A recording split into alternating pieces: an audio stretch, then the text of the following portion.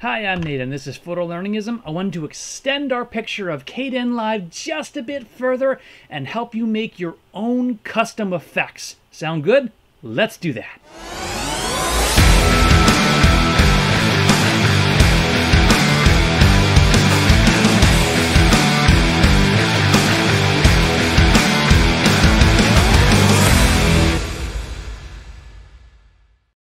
Okay, so once again, I'm Nate. This is Photolearningism. Thank you so much for joining in.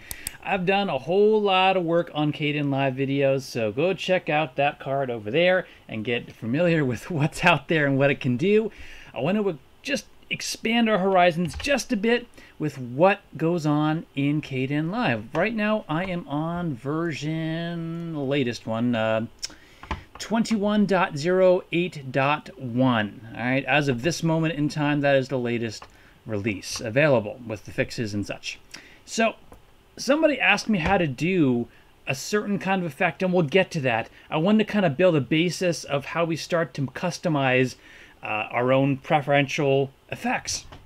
So I took a poke around and I found that you can actually build combinations of effects and then save them. Um, you can't save the uh, the keyframe uh, that you add to those things, but you can save the sequence and stack of effects, and I'll show you how. So let me just grab a few effects just for initial demo here. I'm going to grab a saturation effect, no particular uh, no particular uh, idea in mind, but going to set a keyframe there. We're going to make lots of saturation just so there's some kind of change and you can kind of see that it's doing something. Next thing I'm going to do is add in old film. Alright, enough for the uh, basic purposes. So from here, if I wanted to continue to use this arrangement, and the stack works as a stack, meaning the order is important. It'll process them in order, and sometimes that changes how the effects layer with each other.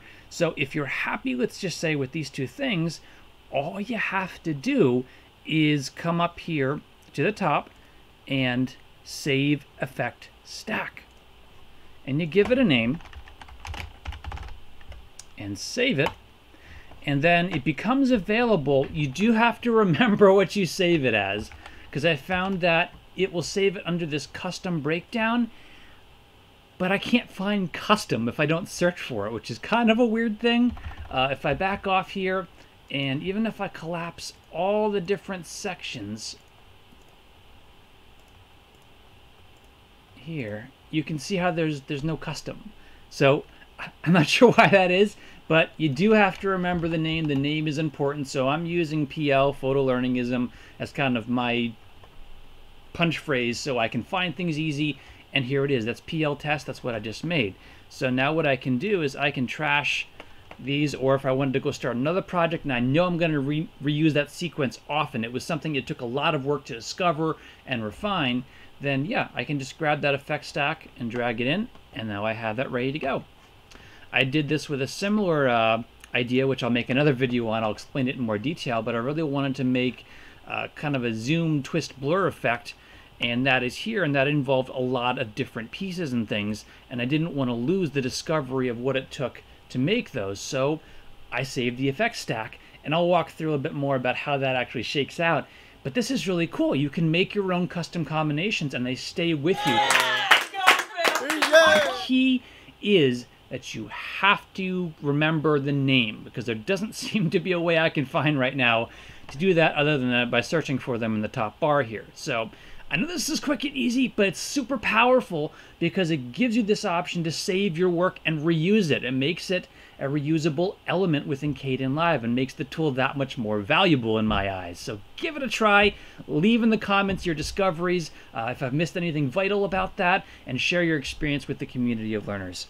So once again, I'm Nate. This has been Photolearningism. Give me a thumbs up if this was helpful and helped you get started in your storytelling endeavors.